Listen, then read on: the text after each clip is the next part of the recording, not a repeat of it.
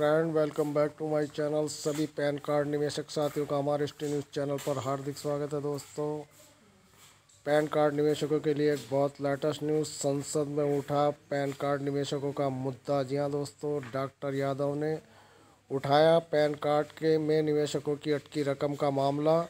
पूरी खबर क्या है दोस्तों? आइए सुनाते हैं। पूरी खबर तेरह फरवरी 2020 बहसकर नेटवर्क से है दोस्तों। अलवर सांसद डॉक्टर करण सिंह यादव ने गुरुवार को संसद में शून्यकाल के दौरान चिटफंड कंपनियों में निवेशकों की अटकी हुई रकम का मुद्दा उठाया। यादव ने कहा कि देश के लाखों निवेशकों का करोड़ों रुपया बकाया है। इस पैसे का भुगतान 2018 से नहीं किया गया है।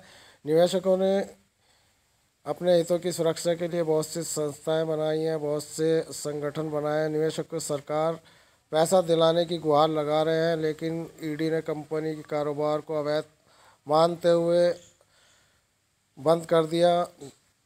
न्यायालय ने भी निवेशकों को के हित में कोई ध्यान नहीं रखते हुए चिटफंड कंपनी की संपत्तियों की नीलामी कर जल्द से जल्द भुगतान करने के निर्देश दिए गए।